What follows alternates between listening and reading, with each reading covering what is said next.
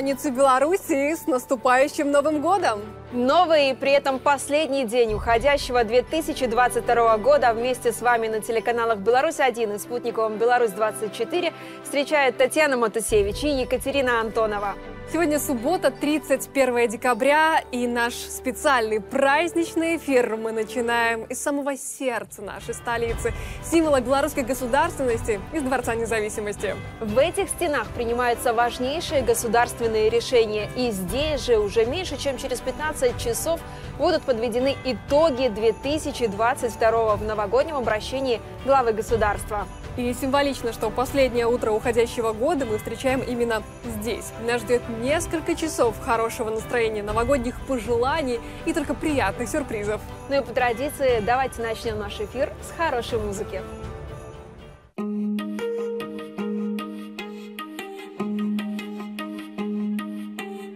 Кто-то рассыпает в небе звезды для тебя. Кто-то рисует на окне морозном узоры декабря. И в полночь просыпается планета Чтоб встретить долгожданный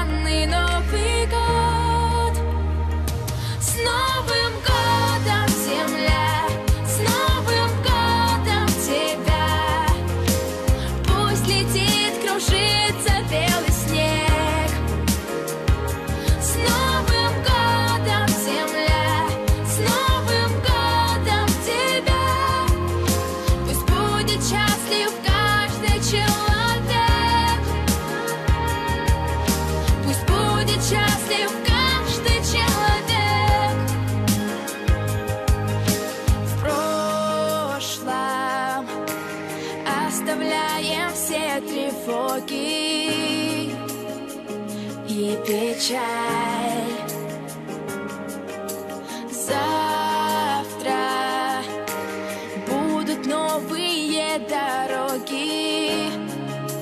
Жизни магистраль. И мы навстречу ярким горизонтам. И мы навстречу новым чудесам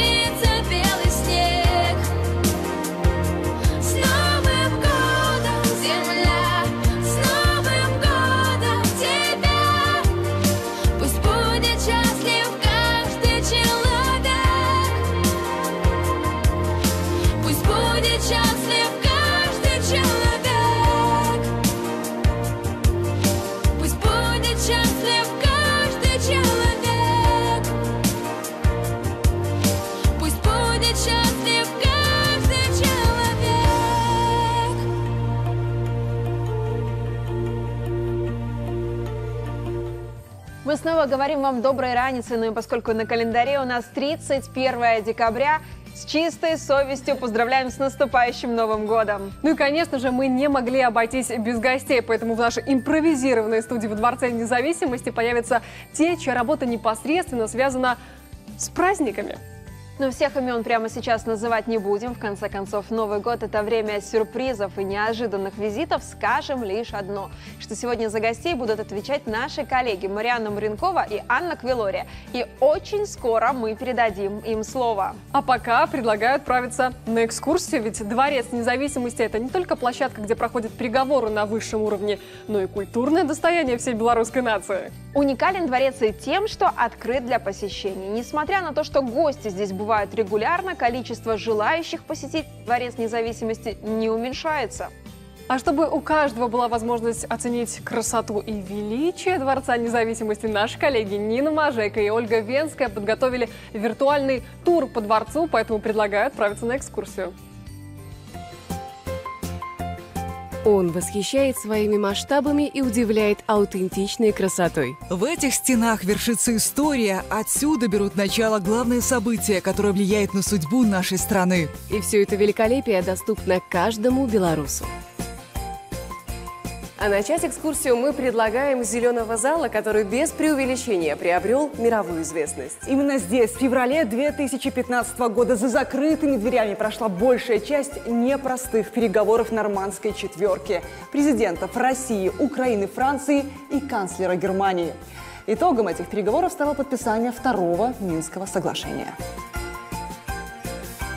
Хотя изначально планировалось, что высокие гости передохнут здесь от суеты в преддверии переговоров.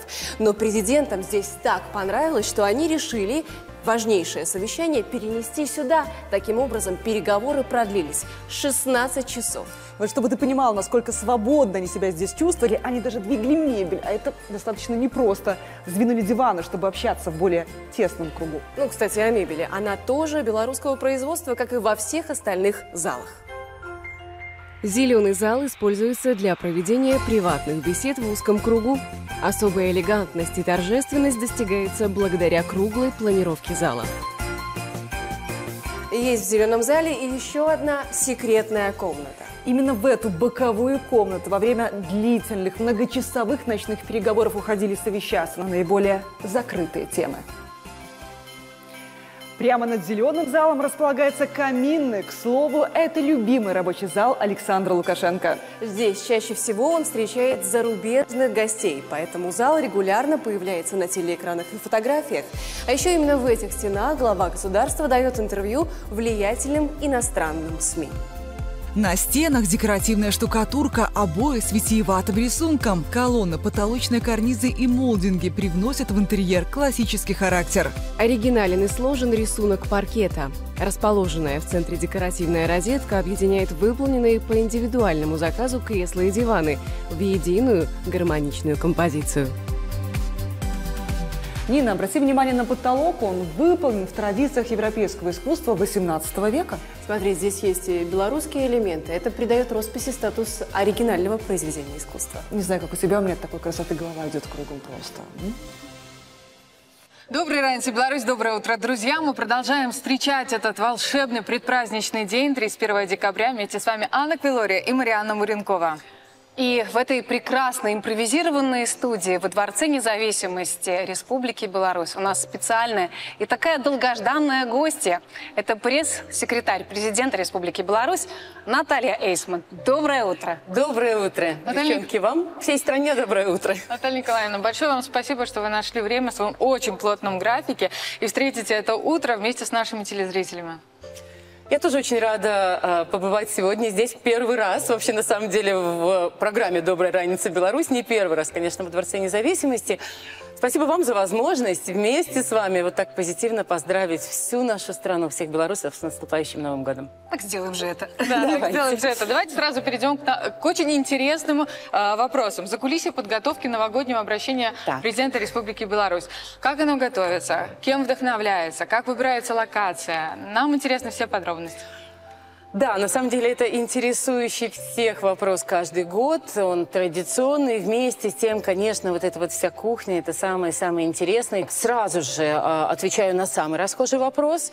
Ну и приоткрываю для вас, только для зрителей «Доброй раницы, Беларусь», А завесу тайны. Ну, мы с вами в эфире 31 декабря. Естественно, вот в момент, когда нас слышат наши телезрители, а новогоднее обращение уже записано. И это всегда действительно очень сложный, очень волнительный момент для всех, потому что, конечно, в течение года у президента очень много больших, таких фундаментальных, масштабных выступлений. Но вот в эту волшебную ночь, которая действительно ну, является рубежом, каким-то переходом, когда действительно, который действительно люди ждут, и все взгляды прикованы к экрану, очень важно, слишком важно подобрать максимально точные слова. Но нужно вместить все. И поздравить, и поблагодарить, и подчеркнуть что-то, и спрогнозировать, возможно, что-то. Расставить все-все-все акценты. Ведь действительно каждое слово слушают, каждое слово слышат, анализируют потом очень долго. Поэтому, конечно, запись всегда происходит, ну, совсем незадолго до Нового года, особенно в нынешнее время, когда очень сложно что-то делать заранее, когда, конечно, вот буквально до финальных дней, предновогодних дней мы формируем вот это самое новогоднее выступление с его акцентами, ну и после, после того, как несколько вариантов, их иногда бывает там два-три, а иногда с десяток, год на год не приходится.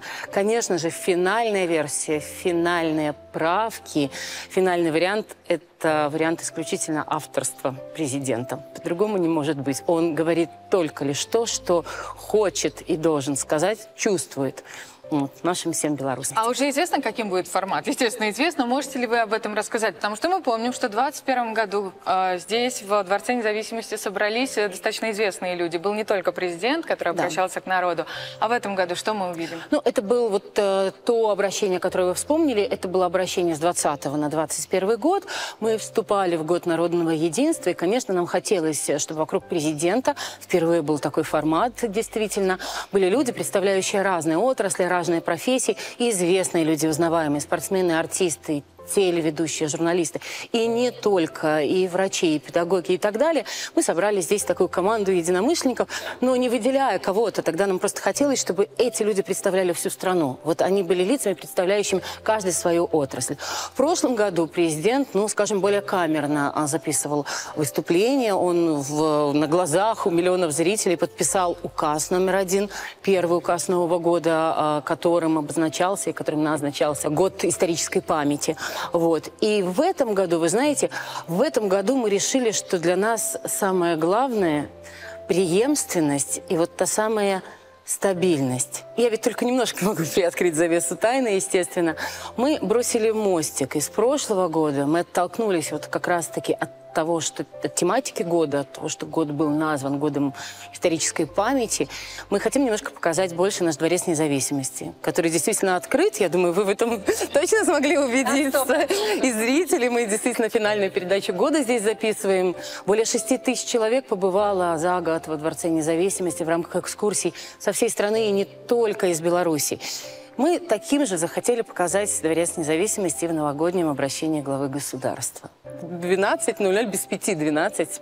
Все будет на 23:55. ваших экранах. Да. На телеканале «Беларусь-1» и всех Конечно, остальных всех телеканалах. телеканалах страны. Во многих странах принято выбирать такое слово года, либо словосочетание года. На ваш взгляд, для нашей страны каким бы было это словосочетание, либо это слово года 2022? Вы знаете, я э, предложила бы вам, э, нам с вами вместе от этой концепции немножко отойти. Я все-таки пресс-секретарь президента. Расскажу вам э, о том, что мы в этом году впервые, опросив огромное количество людей, людей, с которыми работаем, журналистов, наших политических обозревателей, руководителей СМИ, блогерское сообщество, телеграм-сообщество, мы у них спросили, что из выступлений президента для них было самым ярким, самым знаковым, самым запоминающимся. Мы попросили сделать топ-10, ну, честно скажу, ни один человек из тех, кого мы попросили, не вложился в топ-10. У всех было как минимум топ-15, то- топ-20, потому что ярких фраз было очень много. Вот. И фразы эти были самыми-самыми разными. Это на самом деле основные фразы, основные фразы, они пересекались, и они присутствовали практически у всех. И вот через эти фразы очень ярко и отчетливо прослеживаются наши тенденции этого года. Итак, эксклюзивный эксклюзив только для программы «Доброй раницы, Беларусь».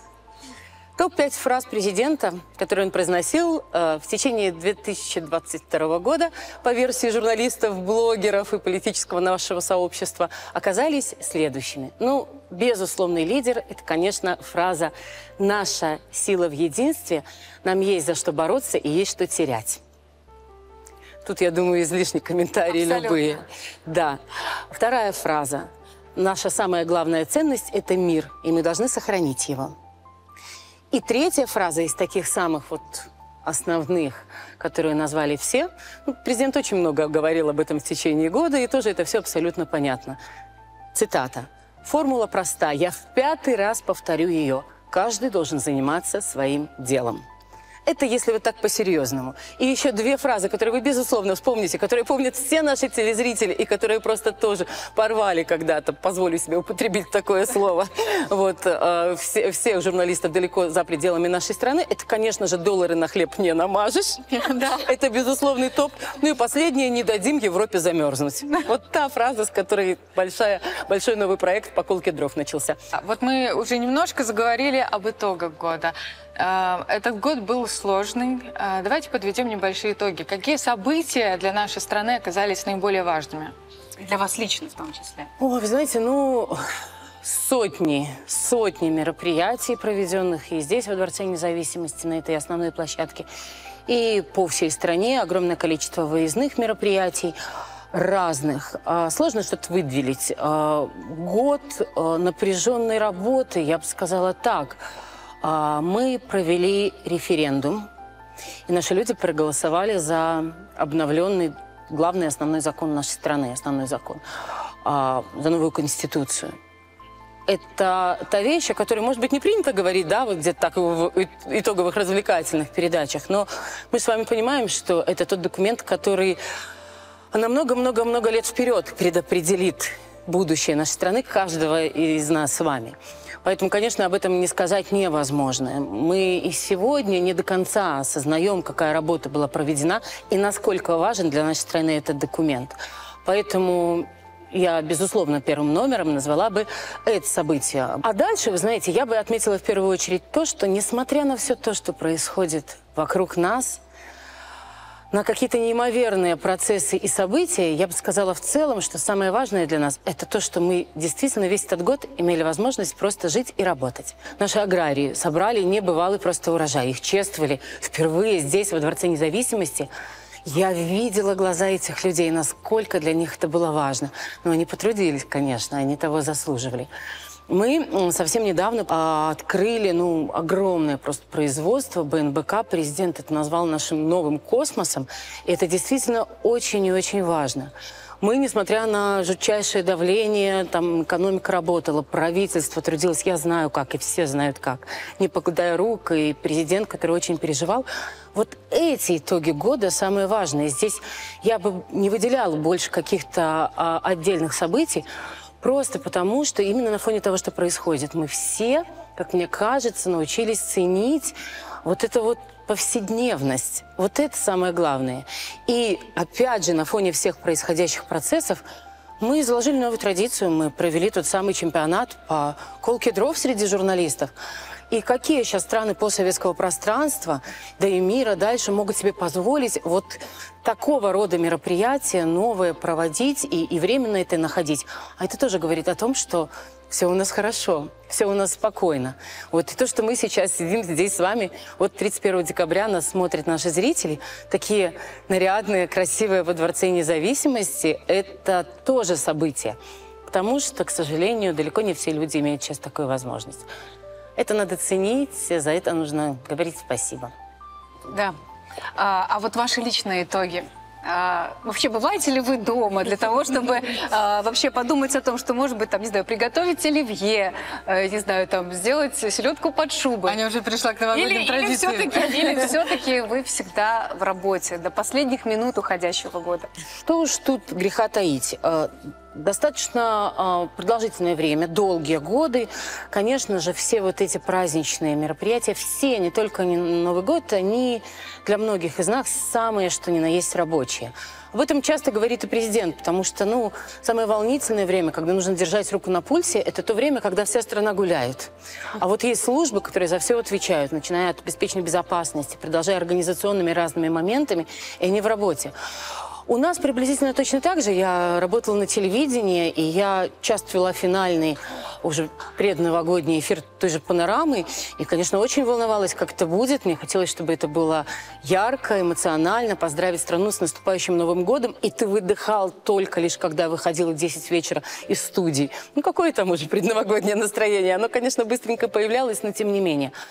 Сейчас, э, сейчас еще сложнее. Почему? Потому что, ну, вначале мы говорили о том, что запись новогоднего обращения – это важнейшее событие. Честно скажу, что праздник наступает только тогда, когда президент говорит с Новым годом, дорогие белорусы, когда начинают бить куранты, потому что только тогда ты понимаешь, что вот финальное а, мероприятие года, твое рабочее, за которое ты действительно непосредственно отвечаешь, оно состоялось. И вот тогда начинается праздник, который, безусловно, всегда проходит в кругу самых близких родных и друзей, многочисленных друзей. И если уж про личные заговорили, так, коротко, фрагментом, хочу сказать, что я очень люблю этот праздник. Очень. И особенно в последнее время, да, все, кто меня знают, э, не дадут соврать, я всегда э, говорила и говорю о том, что мы должны не забывать окунаться в праздничную атмосферу. Мы должны уметь э, отмечать наши праздники. Почему? Потому что работать нас, как президент говорит, жизнь заставит. Мы сами понимаем, как нужно работать. А вот уметь переключиться и действительно где-то вот просто отдохнуть хотя бы короткий промежуток времени. Это нужно делать обязательно. Нельзя пропускать праздники. Нужно самому себе и всем окружающим вот эту праздничную атмосферу создавать. Звучит как напутствие. Напутствие, да. А я хотела спросить, то есть Наталья Николаевна готовит оливье все же или нет? Вы знаете, мое фирменное блюдо это все-таки селедка под шубой. Честно. Непростое блюдо. Честно скажу, вот э, те, кто э, отмечает э, не один Новый год со мной и часто бывает в гостях, говорят о том, что, ну, это сам, ну, нескромно, наверное, конечно, прозвучит, ну, но для многих людей, как есть, это такая самая вкусная, самый вкусный салат из всех, что они пробовали. Ну, они мне так говорят уже достаточно давно, я им верю, стараюсь находить время приготовить хотя бы селедка под шубой. А телевизор вы включаете в новогоднюю ночь? Марианна, я вам скажу так, я телевизор не выключаю. И в новогоднюю ночь, и вообще во все остальные и будни, и праздники. Потому что, конечно, это самая непосредственная должностная обязанность, рабочая обязанность быть все время в курсе, начиная от утренних передач, что вы там показали, о чем вы там рассказали, какую вы поставили музыку, как это все преподнесли. Ответственно. Обязательно, обязательно. Конечно, все выпуски новостей. У нас сейчас за последние два года появилось огромное количество ярчайших проектов. А, а, Сколько говорили об авторской журналистике, передачи, их становится только больше. Ток-шоу, развлекательные проекты. И понятно, а, X-фактор сейчас фактор Бай, и на ОНТ большой развлекательный проект, и в целом все стараются. А, Это нужно успевать все смотреть. Еще одна прекрасная традиция, которую мы просто не можем не сказать. В Дворце независимости всегда, ежегодно, уже пятый год подряд проводится новогодний бал. Давайте вспомним, как вообще создавалось это красивейшее мероприятие. Идея эта зародилась вот как раз с открытием Дворца независимости в 2013 году. Правда, пришли к ней не сразу, потому что, ну, понимаете, здесь нужно было так немножко обосноваться тем, кто здесь начинал работать тогда, как бы освоиться, понимать, что мы можем, на что мы можем рассчитывать. Вот, конечно, поначалу это были больше официальные мероприятия. Затем Дворец независимости был открыт вот для экскурсий, для посещения людей. И все-таки потом пришли к тому, что президенту несколько раз заходили с такими идеями. Потом у нас же балы проходили и проходят и в Ратуше, и в оперном театре, в Большом театре нашем. Вот. И вот на все это глядя, вот как-то так оно сложилось, все эти предложения, что однажды решили, а давайте попробуем, пять лет назад. И когда попробовали, этот первый блин тогда не то, что оказался не комом, когда сотни талантливых ребят со всей страны съезжаются, они репетируют заранее, затем такое прекрасное мероприятие. Они, может быть, кто-то первый раз в жизни надевает фрак и это белое платье. Мы же имеем обратную связь. Я знаю абсолютно точно, что это мероприятие, которое им на всю жизнь потом запоминается, что долгие годы. Плюс по поручению президента это родилось абсолютно импровизационно, прямо во время одного из первых балов а, прозвучало это поручение в мой адрес каждому присутствующему с телеверсией, которую готовит Белтелерадиокомпания, которую 1 января мы показываем, готовить флешку. Мы записываем абсолютно каждому участнику эту флешку и готовим фотографии. Это тоже память, это все очень красиво. Это потом стоит у них, ну, я абсолютно уверена, где-то на почетном месте. Вот, и они это все вспоминают. И когда мы видели, насколько это откликнулось у нашей молодежи, в их сердцах, когда мы понимали, с каким удовольствием. Они здесь знакомятся, они после дружат, они где-то, наверное, и даже и семьи создают. Можно, кстати, поискать какие-то такие истории на будущее, потому что действительно здесь ребята из Суворовского училища и не только. Лучшие студенты вузов. Здесь девчонки такие красивые в нарядах. Вот. И это настолько красиво, и это настолько показывает, что и дворец открыт, что сюда молодежь может и должна приходить. Дворец независимости в этот вечер как никогда в распоряжении молодежи. Потому что, да, есть первая официальная классическая часть, где присутствует глава государства, высокие гости. Но затем эта классическая часть завершается, президент убывает готовиться к следующим мероприятиям, и начинается часть неформальная, и здесь действительно уже и танцы, и здесь знакомство, и здесь даже бокал шампанского. Ну Вот. Ну, я думаю, что это мероприятие не может не нравиться. Это та самая новая традиция нашей суверенной страны, нашей Беларуси, которая зародилась именно здесь, вот благодаря открытию Дворца независимости. Ну и, конечно же, мы вас не можем не попросить о нескольких словах поздравления для наших телезрителей. Спасибо. э, И, конечно, с огромным удовольствием я всех телезрителей «Доброй раницы, Беларусь», телеканала «Беларусь-1», всех жителей нашей страны поздравляю с наступающим 2023 годом. Коль уж мы на телевидении, коль уж мы встречаем это финальное утро 2022 года, я хочу пожелать, ну, во-первых, чтобы каждое утро было только добрым. Чтобы оно начиналось вот с вас, таких веселых, позитивных, а, самых э, ярких, интересных, развлекательных новостей, с красивой музыки. Продолжалось в течение дня только тоже хорошими, созидательными а, новостями на разных телеканалах нашей страны, но чтобы мы рассказывали о том, что мы сделали, что мы открыли, как мы где-то выступили, чтобы наша Беларусь звучала, и мы это видели. И завершалось тоже итогами дня, которые будут рассказывать о том, что сегодня делал наш президент, как это повлияло на судьбу истории страны. Новости отсюда из Дворца независимости, но чтобы все они были именно созидательными и добрыми. Я хочу пожелать нам даже, пускай вот этой повседневности, ну, чтобы она была у нас каждый день, конечно, вместе с миром в нашей стране. Ценные слова. Спасибо вам огромное. Спасибо за этот чудесный разговор. Мы его Спасибо. запомним надолго. С наступающим Новым годом! Ура! И прямо из Зимнего сада отправляемся в зал торжественных церемоний. Еще чуточку волшебства в нашем сказочном эфире.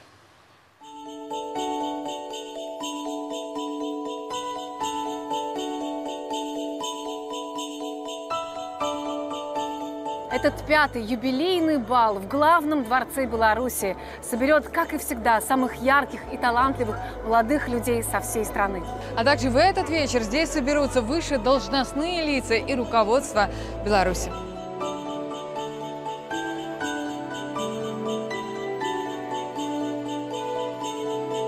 По всемирно известной традиции венских балов нам, белорусам, удалось расставить сугубо белорусские акценты. Анатолий Мячеславович, чем наш белорусский новогодний бал отличается от всех а, других балов во всем мире? Знаете, будучи здесь, во Дворце независимости, мы понимаем, что отличается своей душевностью, своей теплотой, потому что видим прекрасные молодые лица, улыбающиеся. Все переживают, безусловно, потому что очень большая ответственность, и в то же время мы понимаем, что это традиция белорусская, и мы каждый год, благодаря главе государства, собираемся в этом прекрасном месте для того, чтобы проявить себя, показать в танце и, конечно же, насладиться прекрасной атмосферой, которая царит сегодня во Дворце независимости. Если раньше приглашение на бал получали лишь те, кто имел счастье родиться в семье шляхтича или магната, то сейчас сюда попадают благодаря уму, таланту и успехам в учебе. Понять, э, дебютантка на балу или она уже не первый раз? Дебютантки в белых платьях, в диадемах и у вас э, не белые, э, и с букетиками в руках. Да, А, и дебютанты танцуют полонез обязательно. В этом году наш бал – это, так сказать, путешествие по истории бальной культуры. сквозь века. Сквозь века. И мы начинаем с 16 века. Вот первым танцем нашей истории это, является танец бас-данс. Это действительно танец 16 века.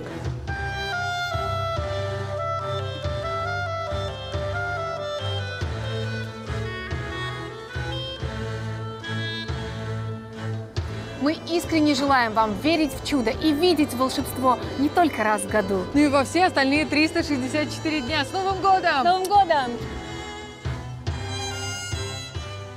Доброй раницы, Беларусь! Мы, Екатерина Антонова и Татьяна Матусевич, продолжаем встречать утро субботы, 31 декабря вместе с вами. Новый 2023 год пройдет под покровительством черного водяного кролика. Это животное, как известно, любит тепло и уют, поэтому астрологи рекомендуют встречать праздник всей семьей. Но вот провести Новый год в кругу родных и близких, к сожалению, могут не все. Для детей, которые оказались в тяжелых жизненных ситуациях, вот уже который год проводится республиканская благотворительная акция «Наши дети». На главной президентской елке во Дворце Республики собираются тысячи ребят. Я знаю, Татьяна, что на благотворительном празднике созвездия Зубра побывала и ты, и готова уже показать нашим зрителям сюжет. Давайте посмотрим. Если мы, взрослые, в последние дни уходящего года завершаем дела, подводим итоги, самые юные белорусы живут ожиданием чуда. Как по мне, чудеса это, наверное, тогда, когда сбываются все твои мечты. Я не знаю, как это описать. Ну, чудеса, это, например, тот же самый Новый год. Это надо просто верить и в счастье там все сбудется, как я лично считаю. Чудеса – это неожиданные эмоции, они всегда поднимают настроение. Как раз в эти дни проходит большой благотворительный марафон. Акция «Наши дети» началась с 15 декабря, продлится по 15 января будущего года. Кульминационным событием новогодней сказки для маленьких жителей нашей страны традиционно стала главная елка. Оно собрало юных талантов, которые достигли успеха в учебе или спорте, а также тех, кому так нужно внимание – воспитанников интернатов и детских домов. Я с Гомеля. Мы сами с кадетское училище в Барановичах. Горбович. Все бодрые, позитивные. Я не выспалась.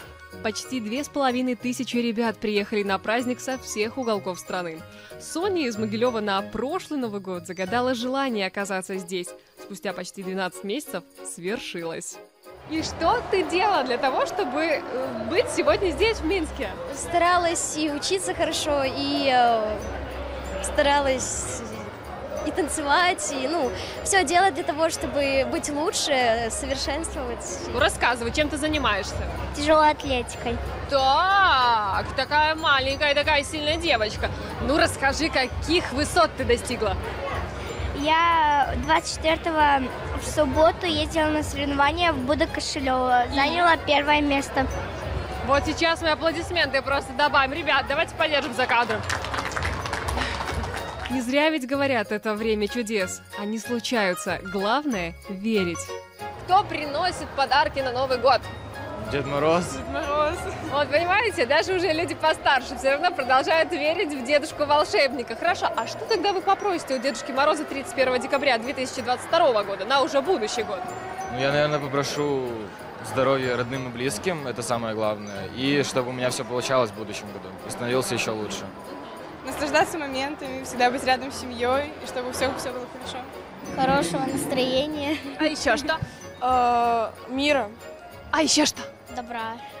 А всем много-много-много чего? Счастья, счастья, счастья. Счастья! Здоровья своим родным и близким. Это самое главное в жизни. Я попрошу, чтобы мама была здоровой и добра.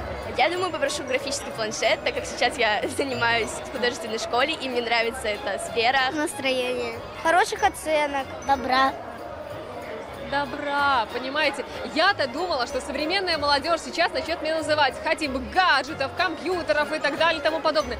Добра хотят дети, и это замечательно. Давайте все вместе поздравим всю страну вот туда с Новым годом. Три-четыре. Ну что, ребята, все приготовили свои желания? Да! Раз, два, три, звезда, гори! С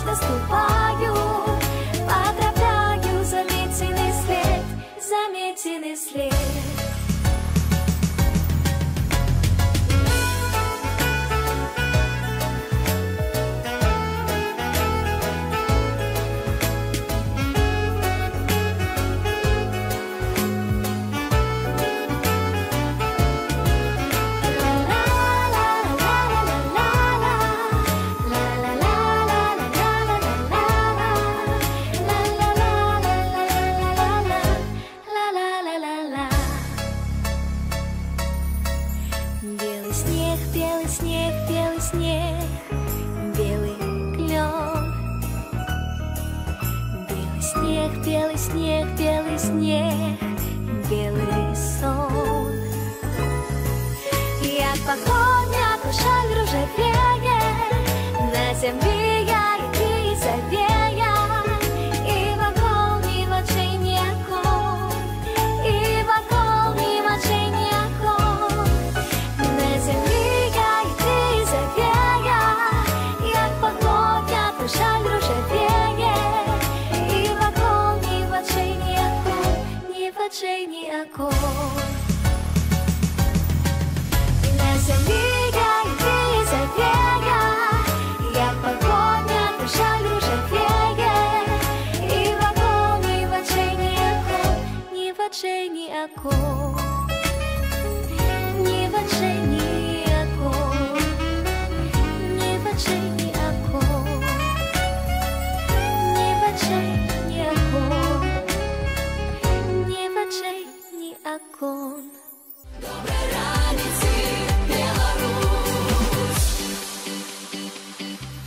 Доброе утро! Это специальный праздничный эфир программы «Доброй раницы Беларуси» из Дворца независимости. И это одно из самых молодых административных зданий в нашей стране, но оно уже успело зарекомендовать себя как площадка для принятия важнейших государственных и международных решений.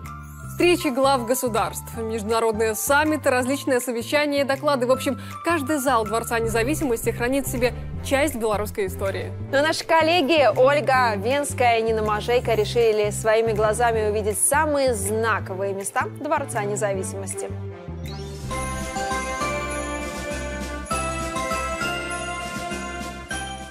Самый рабочий зал Дворца независимости – красный. Его еще называют расширенным кабинетом главы государства.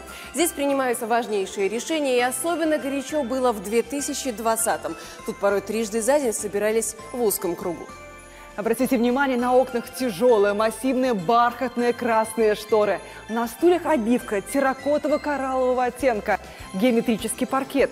Этот лаконичный декор идеален для проведения рабочих совещаний. Коллега, что у нас на повестке? На стенах три картины кисти белорусских художников. Вообще дворец – это место, где с уверенностью можно сказать – здесь все белорусское.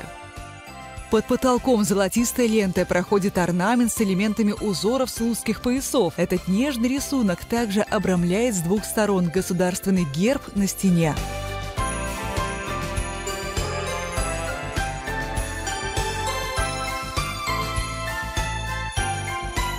А мое внимание привлекли шахматы из оптического стекла. Их президенту подарили сотрудники предприятия «Белома». Так, может быть, партию, коллег? С удовольствием.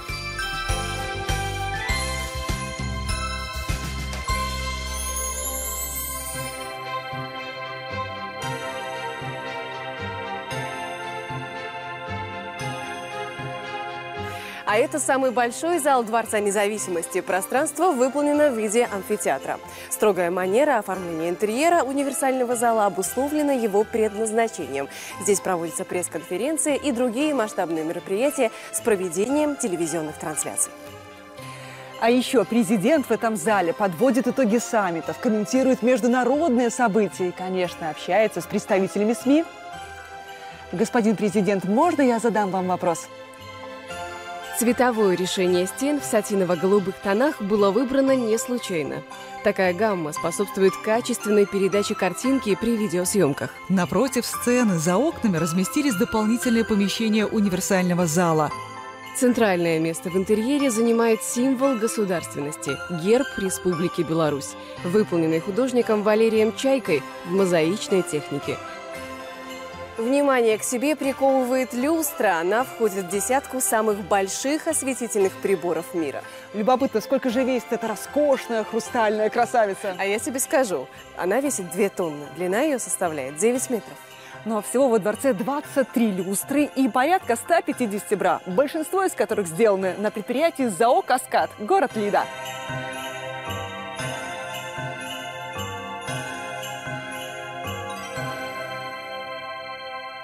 Вот знаешь, Катю, что мне нравится, что впереди-то нас ждут большие выходные, и это замечательная традиция начинать Новый год именно с выходного. Традиция эта замечательная, но, к сожалению, не для всех белорусов 31 декабря, как и 1 января, день выходной. Ну, многим приходится выходить на работу. Например, для нас, для журналистов, новогодние праздники – это горячая пора. Точно так же, как и для врачей, спасателей, сотрудников милиции и работников дежурных служб. И вот о тех, кто проводит Новый год на службе, наши коллеги Анна Квилори и Марьяна Бринкова поговорят с министром по чрезвычайным ситуациям Республики Беларусь Вадимом Синявским. Вадим Иванович, доброе утро. Мы поздравляем вас с наступающим Новым годом. Большое спасибо, что приехали в нашу выездную студию во Дворце независимости. Доброе утро. Вадим Иванович, э, вы уже два года на посту министра по чрезвычайным ситуациям. За это время э, как часто вам приходилось бывать в этом потрясающем месте?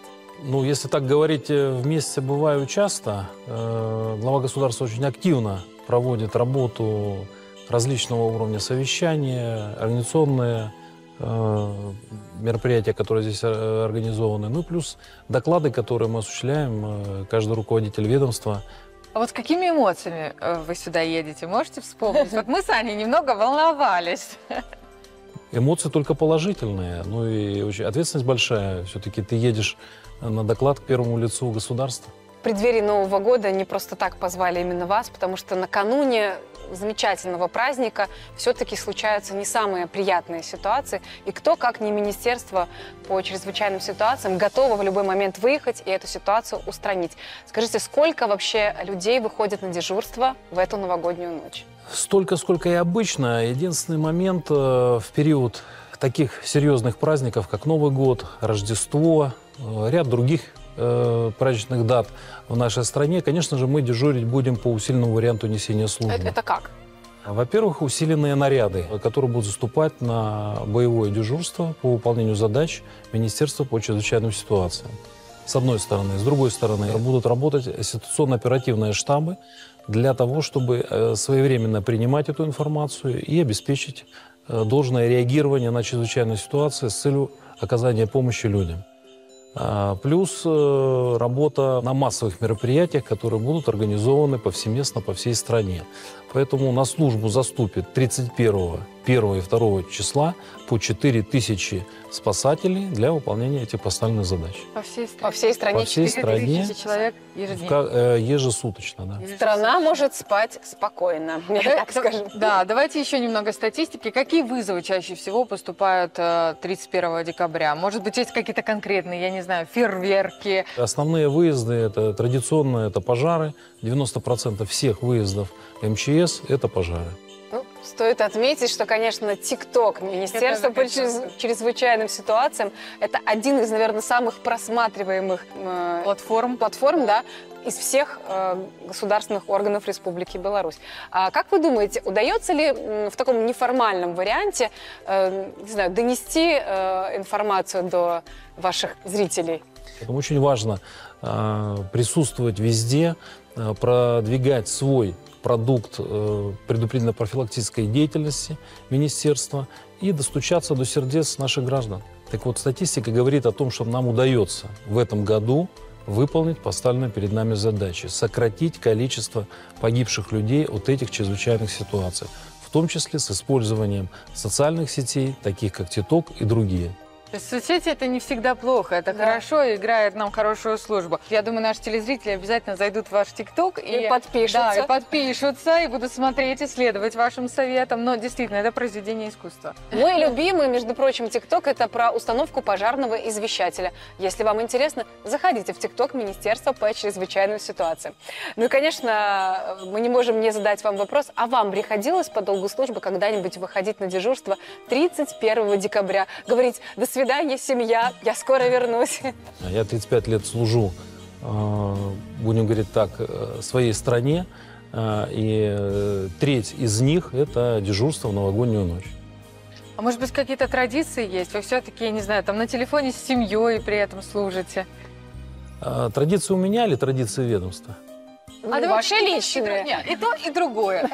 Ну, традиция у меня – это, конечно же, э, где бы ты ни находился, где бы ты ни выполнял свои задачи, это внимательно послушать выступление президента страны, э, послушать, э, как он от души подводит итоги года и напутствует на предстоящий год. Это важно, я считаю, каждому гражданину, который себя уважает и проживает в этом государстве. А когда ты находишься с коллективом, это поздравление коллектива. Очень важно тоже людям, которые э, в эту новогоднюю ночь будут выполнять свои задачи по предназначению, услышать слова благодарности, слова признательности, слова поздравления. А вообще спасателям на работе удается отпраздновать Новый год или нет? Или они все сконцентрированы на службе? Они все сконцентрированы на службе, но ждут поздравлений.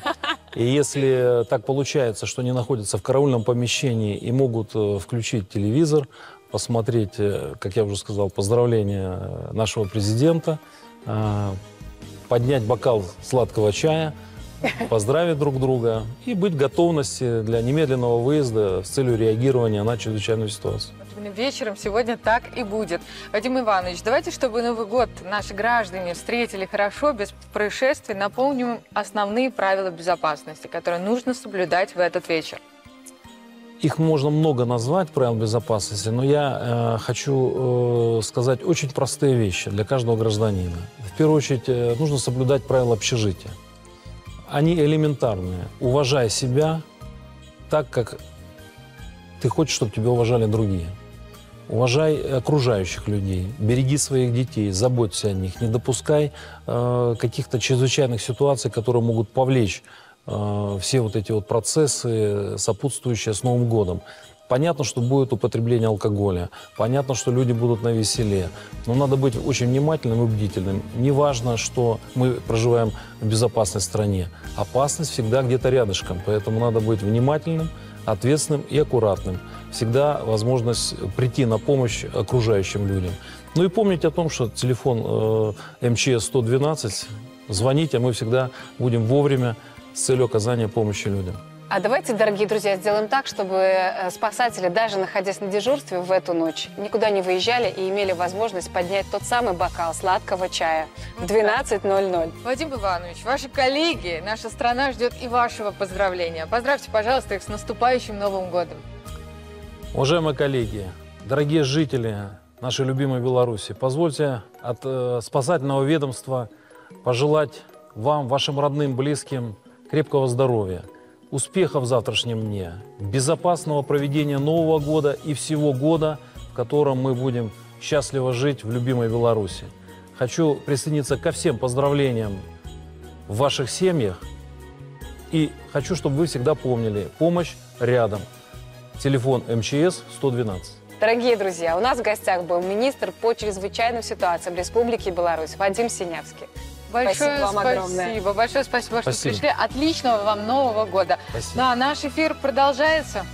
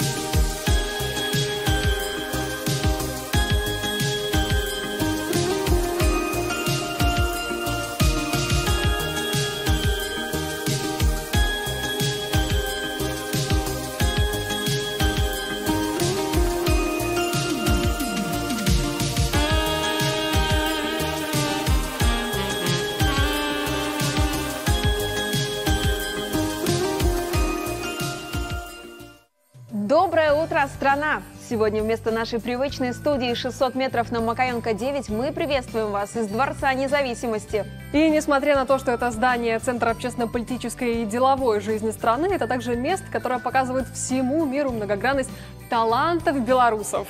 Благодаря слаженной работе огромного коллектива этот объект построили за 30 месяцев вместо запланированных 57.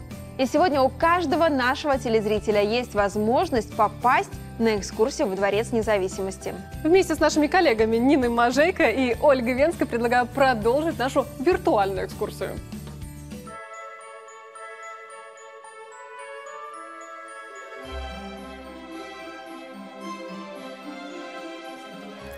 А это зал вручения государственных наград, известный также как зал «Беларусь», один из самых значимых во Дворце независимости. Именно здесь, в особенно торжественной атмосфере, из рук главы государства получают награды лучшие люди страны.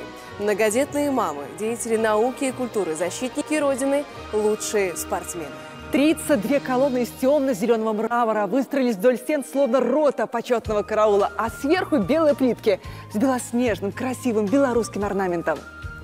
Обратите внимание, зал украшен лепными медальонами в виде щита с аббревиатурой РБ «Республика Беларусь».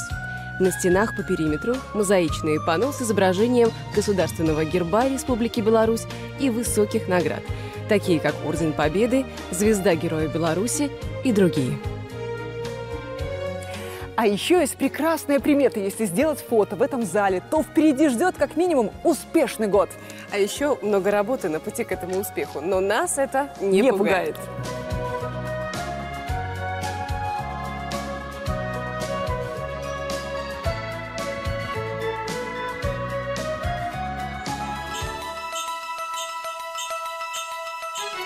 Зимний сад – предмет особенного восхищения и комплиментов со стороны высоко поставленных гостей дворца. Нина, согласись, ну правда, есть чем восхищаться и чем гордиться. Во дворце произрастает свыше 150 видов растений. И это заслуга сотрудников Центрального ботанического сада Национальной академии наук Беларуси. В тени апельсиновых деревьев с ароматными плодами располагается комфортная зона отдыха. Вдоль витражей – водоемы, в которых плавают яркие рыбки. Водоемы окружены экзотическими растениями. Это какой-то супер необычный оригинальный стол. Что здесь есть? Например, э, премикс для карповых рыб. Вот у меня кормовая добавка трионин – 98,5%. Интересно, для чего это нужно и вообще откуда взялся здесь такой необычный стол? Ну, стол на самом деле обеденный, но это условно. Подарок главе государства от сотрудников Белорусской национальной биотехнологической корпорации. Настоящий эксклюзив. Слушай, он еще и вращается, ничего себе. Мы, Катерина Антонова и Татьяна Матусевич, продолжаем праздничный эфир программы «Доброй раницы Беларуси» из Дворца независимости. И всем еще раз доброе утро. Вот в Новый год принято подводить итоги, и мы тоже решили присоединиться к этой традиции. Наш коллега Мария Хрусталева каждую среду в своей рубрике «Дай перца» рассказывает о самых ярких событиях мирового шоу-бизнеса. Давайте прямо сейчас узнаем, какими новостями отличился уходящий 2022 в рубрике «Дай перца». Один сезон сменяет другой, время идет, но ни одно яркое событие не остается незамеченным в рубрике «Дай перца». Давайте же вспомним, какие новости не оставили нас без эмоций в уходящем году. Яркой вспышкой начала 2022 стал выход документального фильма «Аферист из Тиндера» о Саймоне Леваеве, который, выдавая себя за богача, знакомился с девушками и обманывал их на деньги. Эстафету острых новостей этот герой-любовник передал Анне Делби, выдававшую себя за представительницу богатого семейства. Об этой девушке в марте 2022 говорил весь мир, в том числе и программа «Доброй раницы, Беларусь». Так как выход сериала «Изобретая Анну» поведал всем о том, как девушке на протяжении нескольких лет удавалось обманывать самых влиятельных людей Нью-Йорка. Ну а через пару недель в телевизионном эфире мы защищали Уилла Смита, от которого, пусть и ненадолго, но отвернулся весь Голливуд после его поведения на кинопремии «Оскар». А Уилл Смит, он такой, он молодец, он как лев защищает свою семью. В апреле грустили и радовались одновременно за белку из ледникового периода. Она, наконец, 20 лет спустя нашла свой орех. Создатели мультфильма показали короткий ролик и, судя по всему, таким образом завершили эту мультисторию. В мае мы восхищались Томом Крузом, который прилетел на премьеру фильма «Топ Ган Мэверик» на собственном вертолете, которым сам и управлял. В июне вместе со всем миром мы следили за судебными разбирательствами с участием Джонни Деппа и Эмбер Хёрд, и так до сих пор и не поняли, так они там договорились между собой или нет? Вот отменить Джонни Деппа, мне кажется, нельзя. Пусть, допустим, он не будет Джеком Воробьем, пусть он даже не будет сниматься в кино. Зато он будет играть в группе, например. Мы же помним, что он еще и великолепно талантливый музыкант. Вот так вот. Джонни Депп все равно останется с нами. Да, это как раз-таки гол сейчас в ворота Эмбер Хёрд, потому что все-таки, мне кажется, не отличается она аристократизмом в этом вопросе, во всяком случае. Но выводы сделали. А вот в июле нам не пришлось делать заключение. Мы радовались за хомяка-космонавта, который покорил стратосферу на воздушном шаре. Питомец благополучно вернулся из космоса и приземлился рядом с японским островом Мияка. А в августе наше внимание снова привлек казус с участием голливудского актера. На этот раз мужчина, укравший товары в строительном магазине, оказался точной копией Брэдли Купера. Ну, наверняка, когда его поймают, он скажет так гордо, зато я похож на Брэдли Купера. Это правда. Уже в сентябре с правонарушителем разобрались, но к тому времени мы обсуждали исполнительницу новой «Русалочки» Холли Бейли. Далеко не все поклонники сказки оказались довольны выбором актрисы. А в октябре были недовольны мы, когда картина Клода Мане чуть не пострадала в Потсдаме из-за экоактивистов. Знаете, я бы сказала, что детишкам этим нужно руки занять. Э, Например, отправить их картошку выкапывать. Э, Как раз сезон, между прочим. В ноябре мы пристально сравнивали внешность и мимику актрисы Элизабет Дебейки и принцессы Дианы. Актриса повторила эпизод из скандального интервью «Леди Ди». В декабре, две недели назад, мы завороженно смотрели на то, как радуется Аргентина своей победе в чемпионате мира по футболу и провожали Месси, который так ярко завершил свою футбольную карьеру. Пускай в новом 2023 году перченые новости будут приносить вам только положительные эмоции, ну а мы с телепроектом «Доброй раницы Беларусь» будем обязательно вам о них рассказывать. Таня, а какое у тебя любимое блюдо на новогоднем столе? Подожди, оливье не называй, оливье любят все. Мгм, хорошо, я люблю рулетики с красной рыбой. А ты что любишь? А я люблю курочку такую на бутылке в духовке, зажаренную с корочкой. Как же это все вкусно. Ты знаешь, каждый Новый год моя мама планирует готовить меньше, но, к сожалению, не получается. Каждая хозяйка хочет удивить. А потом каждый гость хочет все попробовать. И получается, что Новый год – это настоящее испытание для нашего организма. Так вот, как новогоднее застолье пережить без стрессов для организма? Давайте спросим у эксперта. Добрый Райте Беларусь! Мы рады приветствовать в нашей импровизированной студии победителя конкурса «Врач года» Республики Беларусь номинации «Врач-терапевт» Наталью Хамицаеву, врача Республиканского клинического медицинского центра. Доброе утро, Наталья. Доброе утро. Примите наши поздравления, хоть и несколько с опозданием, э, с получением такого звания. Это дополнительную какую-то ответственность на вас налагает? Или вы как работали хорошо, стабильно, и так и продолжаете? Ну, Я стараюсь работать хорошо. Ну, конечно, определенный рейтинг это повысило. И ответственность, конечно, становится еще выше. Наталья, уже сегодня вечером вся наша страна, весь мир отметит Новый год. И, естественно, все семьи, все люди будут ютиться за столами, где есть и шампанское, и блюда. Скажите, как вообще вот этот вот рацион сказывается у нас на организме? Ну, конечно, это углеводный удар по нашему организму, потому что это все тяжело. А, как правило, мы еще худеем перед праздниками, потому что все хотим быть красивыми. неделю не едим, да, потом на да, Новый год, да, да. Потом на Новый год мы массово налегаем. Все мы к этому экстремально интенсивно готовимся, мы покупаем какие-то оригинальные продукты, которые не едим каждый день, поэтому это, конечно, немножко есть вопросы, могут возникнуть аллергические реакции из-за употребления морепродуктов и каких-то экзотических орехов, экзотических редких фруктов. Вы сказали про экзотические продукты, я сразу почему-то вспомнила, как мы любим на батон намазывать масло, а потом класть икру. Скажите, насколько это убийственно для нашего организма? Ну, если фанатично не употреблять икру с бактоном, что в разумных пределах это возможно. Ну, конечно, стараться не увлекаться, потому что там очень много соли. А соль это задерживается в организме, это вызывает приток жидкости, лицо отекает, и для дам это не очень хорошо с утра. И для гипертоников тоже. И для гипертоников тоже. Вы сказали, что да, есть какие-то продукты, которые действительно мы не употребляем каждый день, а тут вот в новогоднюю ночь, чтобы вот максимально был такой роскошный стол, мы их все выставляем. Так может быть тогда идеальная формула новогоднего стола – это за неделю до начать э, пробовать что-нибудь что-нибудь по чуть-чуть. Приучать организм. Да, и вот это вот ваше, вот не трогайте это на Новый год. Да.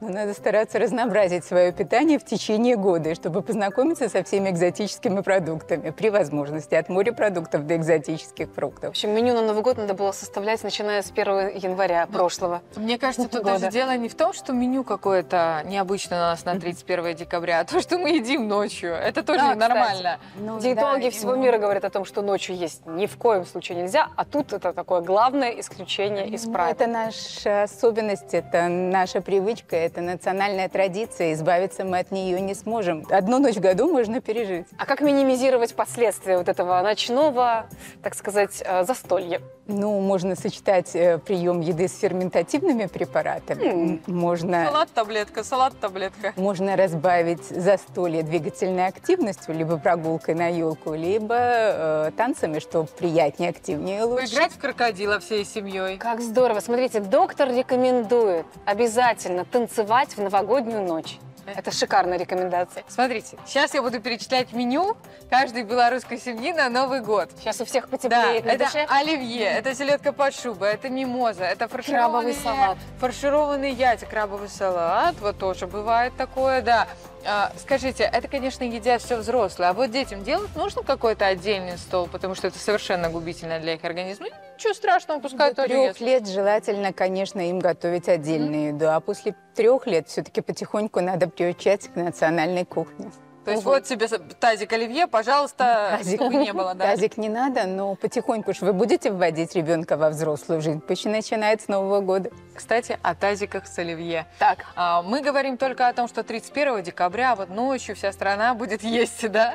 Но есть же еще 1 января, 2 января, который в этом году будет выходными днями. И у нас тоже есть такая привычка, оставшаяся с Доедать советских времен, что доедать. осталось. Это Насколько самое это, вредительно? страшное. Вот, расскажите нашим Это телезрителям. самое страшное. Мне кажется, это Доедать. тоже национальная Вся традиция. страна, национальная традиция, неделю доедает оливье. Поэтому, конечно, стараться, чтобы больше трех суток салат в холодильнике не стоял. Чтобы заправленный майонезом салат в холодильнике не стоял. Если он стоит в холодильнике, он не должен быть заправлен майонезом. Поясните, почему? Что может случиться с Может человеком? развиться пищевая токсикоинфекция. Там могут размножиться, если особенно он заправлен майонезом, там размножаются микроорганизмы, в частности стафилококк, и можно заразиться. И из этого вытекает а, сразу же наш следующий вопрос. А с какими жалобами чаще всего обращаются к вам пациенты после Нового года? Э, Как правило, это обострение ЖКТ заболевания, это хронические панкреатиты, желтнокаменная болезнь, хронический гастродуоденит, срывы ритма, гипертонические кризы. То есть, как бы... Но весь этот ассортимент, как правило, идет с первого числа после обеда. Как ты радостно, как ты радостно, Наталья, это произносит этот список, но на самом деле нужно быть аккуратным, очень аккуратным. Ну, конечно, стараться, особенно пожилым людям людям, имеющим хронические заболевания, больным сахарным диабетом, нельзя увлекаться углеводами. То есть стараться при возможности соблюдать диету. Если нарушать диету, то нарушать диету надо разумно. Вот в маленьких количествах. Все нужно делать с умом. А, так давайте, раз мы уже поговорили о болезнях, которые обостряются в Новый год из-за нашей пищевой невоздержанности, давайте и определимся, какие лекарства нужно положить в аптечку, к, тем- к чему быть готовым. Ну, ферментативные препараты, это антациды препараты, гасящие секрецию желудочного сока, избавляющие нас от изжоги. Вот это гипотензивные препараты, препараты, снижающие давление. Ну и, наверное, шипучий аспирин. И, наверное, антигистаминное что-то, раз уж мы заговорили об аллергических Да, аллергические реакциях. реакции. Наталья, случалось ли вам когда-нибудь встречать Новый год на работе? Случалось. Как это было? Ну, относительно тихо, но болезни Деда Мороза не боятся. То Да. есть бывает всякое. То есть Деда Мороза привозили в больницу? Нет, болезнь. Болезнь А. случается все равно. Но болезни, к сожалению, случаются. Экстремальная ситуация случается и в новогоднюю ночь. Ну, хочется, чтобы новогодняя ночь прошла тихо. Наталья, большое спасибо, что вы пришли к нам и рассказали столько интересных историй. Мы желаем вам тоже всего самого прекрасного в новом году. А сейчас наши телезрители ждут поздравления от вас. Спасибо. Я желаю телезрителям здоровья и оптимизма, который желательно не расплескать на этом сложном жизненном пути. Спасибо, Спасибо большое. огромное, друзья. Мы вам напоминаем, что у нас в гостях была а, врач года Республики Беларусь в номинации «Врач-терапевт» Наталья Хамицаева. Наш эфир продолжается.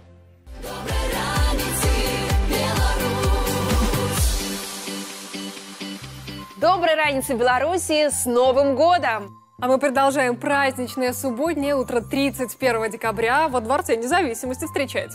Дворец независимости – это не только площадка для принятия важнейших решений, но и место знакомства с культурой, историей и традициями Беларуси. Интерьеры Дворца независимости неоднократно украшали работы белорусских художников, фотографов, дизайнеров и скульпторов. Так вот, кроме экспозиции наших соотечественников, здесь также можно увидеть и творения зарубежных мастеров. Но отдельного внимания заслуживает музей подарков. В необычной сокровищнице экспонатов со всего мира побывали наши коллеги Нина Мажейко и Ольга Венская.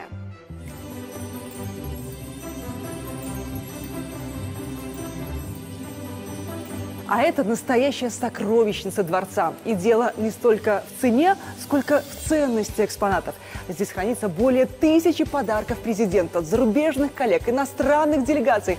И самое главное, от рядовых белорусов и трудовых коллективов из разных регионов страны.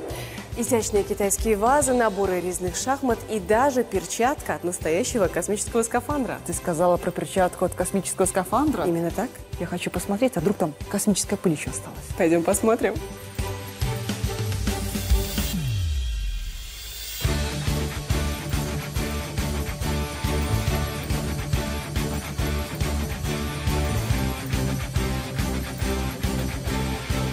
Ну, работа, которая по-настоящему запала в душу, это экспонат, который я называю букет васильков. Цветы настолько изящно выполнены, что их не отличить от живых. Это правда. деле. Символ Беларуси. Сразу вспоминаются строки Максима Богдановича, который сравнил василек с цветком Родины. Мне кажется, автор этого потрясающего букета должен знать каждый белорус. Это Николай Кузьмич из Кобрина. Но вот этот потрясающий букет был подарен президенту по случаю тысячелетия Бреста в сентябре 2019 года. Для размещения всех предметов в зале не хватает места. В запасниках музея хранится еще много подарков главе государства от организаций и предприятий страны. И бывают случаи, когда, приезжая на экскурсию во Дворец независимости и посещая музей, представители какого-нибудь региона спрашивают, где же их подарок, врученный ранее президенту. Оль, ты впервые побывала во Дворце независимости. Как Это впечатление? правда. Могу сказать, что это была самая запоминающаяся, самая яркая экскурсия в моей жизни. Дорогие телезрители, мы очень надеемся, что мы вдохновили и вас не сидеть дома в предстоящие длинные новогодние выходные, а путешествовать по родной стране, изучать любимую Беларусь. С наступающим Новым годом, дорогая страна! Любите свое и каждое утро 2023 года встречайте с нами с программой Доброй раницы, Беларусь!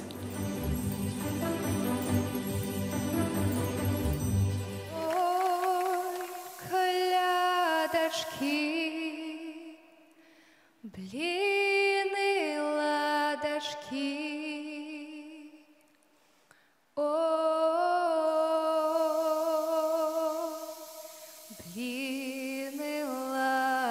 ладошки. Ой,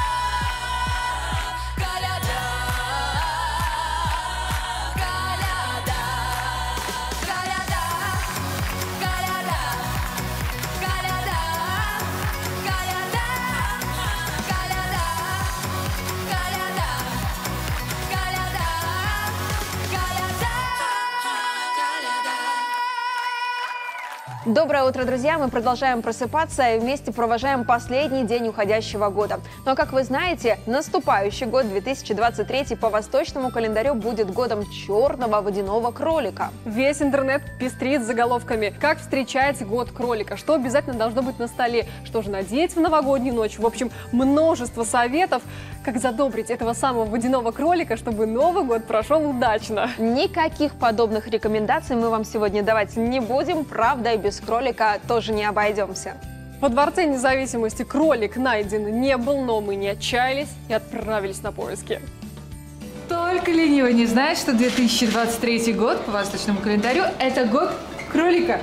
Да, прикоснуться к символу Нового года хочет каждый для того, чтобы год был успешным и удачным. Но нам повезло больше остальных. Потому что свои желания мы загадываем, держа на руках кроликов с президентского подворья.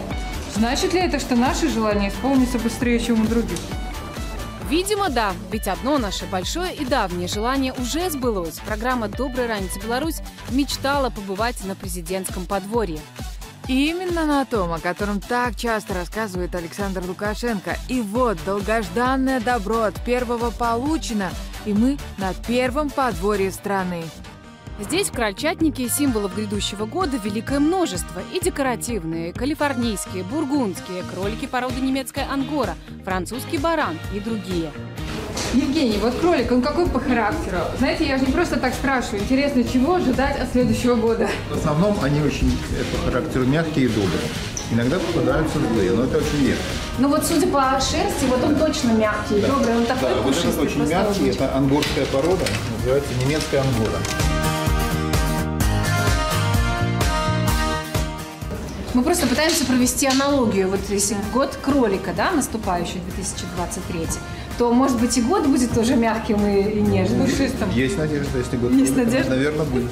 Ну вот кролики, по сути, это существа, которые наслаждаются жизнью. У них райское существование. Они сидят, Особенно едят. Особенно и вот гладят. здесь у них точно райское существование. То есть Главное это корм. То есть вот свежее сено, президент сам его косит. Конкретно это? Нет, вот конкретно это, да. Все. Ты, ты хочешь себе в качестве сувенира? Просто чтобы было.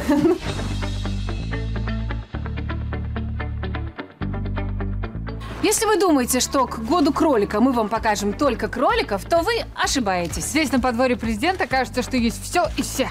Даже страусы. Да. Мы уже к ним привыкли как к обыкновенной птице. Они у нас э, весной начинают нести яйца. Яйца у них очень большие, килограмм, килограмм сто. А это правда, что э, яичница из страусиного яйца делается бо- более получаса? Да, вы знаете, да, это очень такое экзотическое блюдо получается.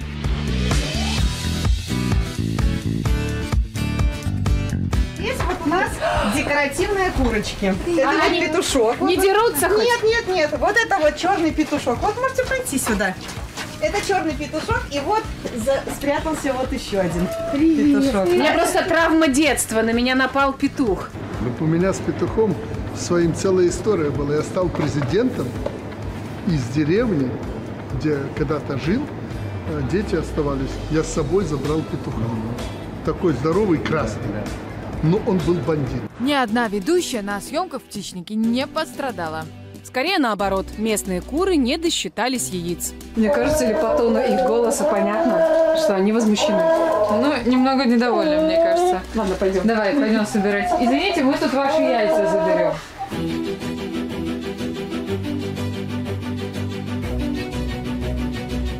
До свидания. До свидания. Спасибо большое. Где яйца в этом доме? Вот, мне кажется. Мы дико извиняемся, но мы немного возьмем.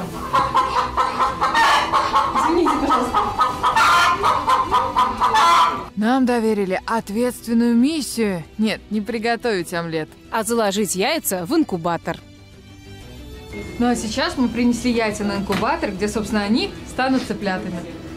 Закладываем? дней? Нет, еще не закладываем. Чтобы будущего цыпленка обезопасить, нужно обработать яйцо, ну, или хлоргексидином, или перекисью водорода. И так с каждым. Так. Так обрабатываем. И на сколько дней мы э, кладем их в инкубатор? 21 день весь идет процесс. Через три дня включим поворот, э, чтобы яйца вращались, чтобы не присох зародыш в скорлупе. Но под курицей же яйца не вертятся. Вертится. Она крутит, вертит там, как, как хочет. Означает ли это, Михаил Васильевич, что мы с вами увидимся через 21 день? Означает. Звучит как обещание, а пока в запасе у нас еще 21 день. Поэтому можно посмотреть и на других обитателей подворья. Говорят, что к каждой коровке нужно приходить, ну, прежде чем ее подоить, с каким-то угощением. Ну да. И к вашим тоже. И к нашим. И не каждая будет э, любой хлеб кушать. Одна такой кушает, Я другая. бы сама его ела. Да. Татьяна, что нас интересует? Какая корова больше всего дает молока? Вот на данный момент каштанка у нас. Каштанка, а Да. сколько она литров?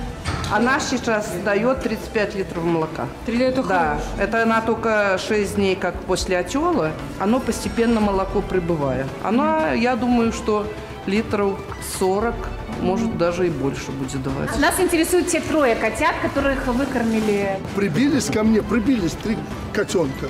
Ну, молока дал, прожились. Ни одной мыши. Конечно. Вот Мурка провела нам четверо. Мальчика одного забрали, мы подарили. Осталась Николаевна и Борисовна у нас. Вот вы конкретно по отчету, да? Одна Вот Николаевна. такое животным. Да. Николаевна и Борисовна. Да. Очень Николаевна и. Борисовна. А это Ириска у нас. Ириска. Самая красивая. Ответственно заявляем, мышей действительно нет, а котам тут, вопреки пословице, все масленица. Она всегда, когда приходит президент, она всегда возле так и крутится, да, хозяин. И вот всегда, когда Александр Григорьевич приходит, коровки наши просто расцветают. Как чувствуют, что приходит, да.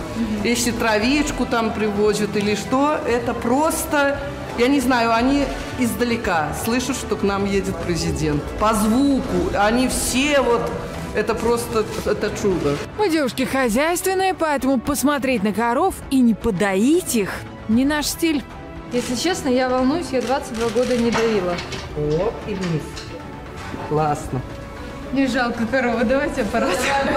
Ну, это был специальный аттракцион для Марианны. На самом деле всех коров на президентском подворье доят при помощи специального аппарата. Быстро, удобно и коровкам комфортно. Вот подсоединяешь первый сосок, кнопочку вверх. Оп. Нет, ну так значительно проще, конечно. Конечно. Попробуем того, что я надоила. Марьяна, как думаешь, э, какой процент э, вот в этом кувшине молока, которое надоела именно ты? 95. Нормально? Ты веришь в это? Да, я верю. Давай, со стороны.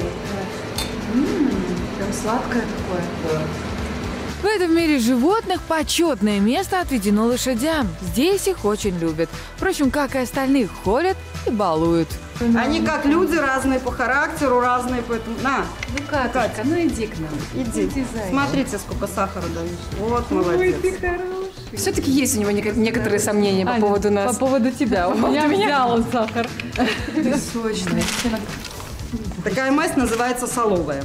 Соловая? Да. Понятно. Мне кажется, нас зовут, Марьяна. Мне кажется, надо идти. Так пойдемте же к пончику. Пойдемте. Какая у тебя челка! Ну ты просто какая волоска.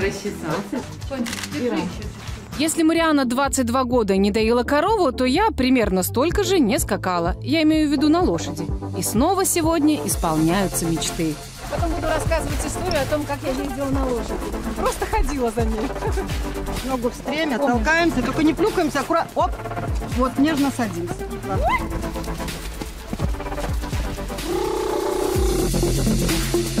Нет, галопа точно не будет. Я ураню ведущую.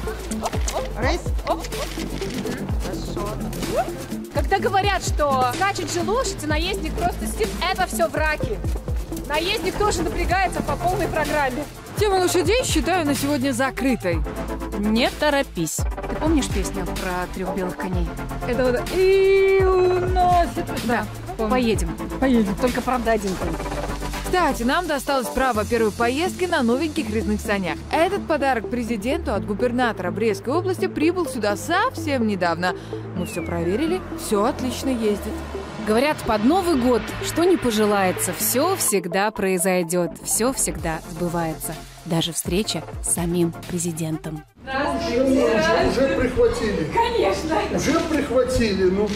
Александр Григорьевич, Так, спасибо я вам сказал, огромное. вот сбежала красавица, Аня, тоже, тоже не замужем. Не будете замуж выходить? Я замужем, все нормально. Когда ты замужем? Ты вчера вышла замуж только. Ну ладно, тебе два кролика, тебе пока одного. Ну как вам это веслоухий? Вообще прекрасные. Это калифорнийский этот? Это помесь. Ладно, отдаю. Что, прям вот этого? Ты моя хорошая, ты боишься? Ты хорошая, не волнуйся, люди они хорошие. Это лестная характеристика президента, правда? на. Спасибо. У меня черный водяной. Символ наступающего года. Там же по восточному календарю черный водяной. Короче, два отдаем, да? Так, кроликовод. Чисто, чисто порог. А, Муренковый. У него некого смотреть, пускай смотрит. Ты коров доила?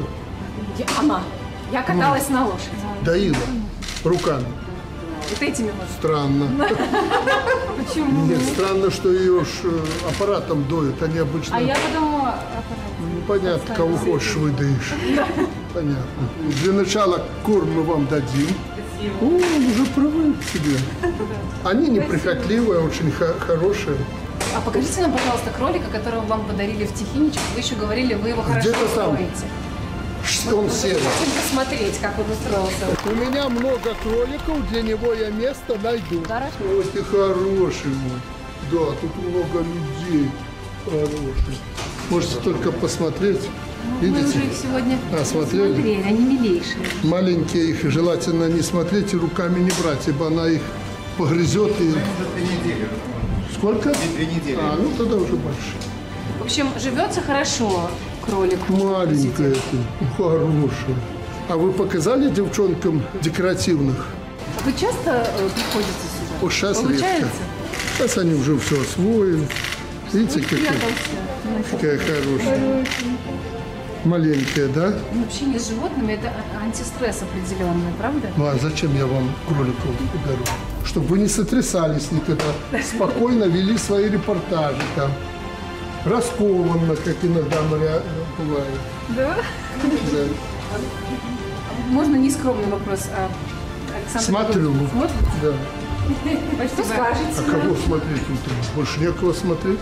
Все каналы работают. Ну я почему-то все время на вас. Это очень приятно. Да, вижу, вижу я вас. Марианна, теперь аккуратнее Так всегда. вас же Очень там, ответственно. вас же шестеро там. Да, да. Ну, иногда ты отвлекаешься на разные эти танцульки там, песни. Александр Григорьевич, а каждый человек 31 декабря под бой курантов загадывает какое-то желание. Какое желание загадывает Чтобы эти кролики у вас долго жили. Только это? Но это главное в этом году. Если кролик будет жить в этом году, хорошо жить, то и вам будет хорошо. Пойдем. Эту субботу, 31 декабря, мы вместе с вами провели во Дворце независимости. Наша команда, а ее только небольшую часть вы видите в кадре, больше людей остается за камерой, постаралась рассказать вам об этом уникальном объекте как можно больше. Экскурсия по Дворцу независимости в среднем занимает два с половиной часа. То есть вы понимаете, сколько же всего интересного осталось за кадром. Ну а сейчас наш эфир подходит к своему завершению, и нам хочется еще раз поздравить вас с наступающим Новым годом. Главное, будьте счастливы и здоровы. Обязательно загадывайте желания, ведь не зря же говорят, нужно поверить и все исполнится. Ну а еще, конечно же, смотрите «Доброй раницы Беларуси», тогда каждое ваше утро будет добрым. Ну а с вами мы увидимся уже в новом 2023 году. Всем хорошего дня И с Новым годом!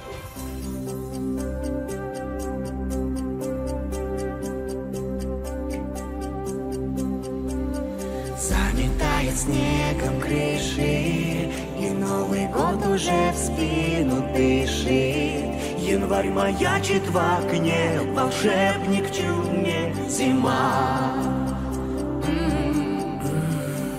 Звон хрустальных часов, сердце греет любовь. В новогоднюю ночь, смех родных голосов.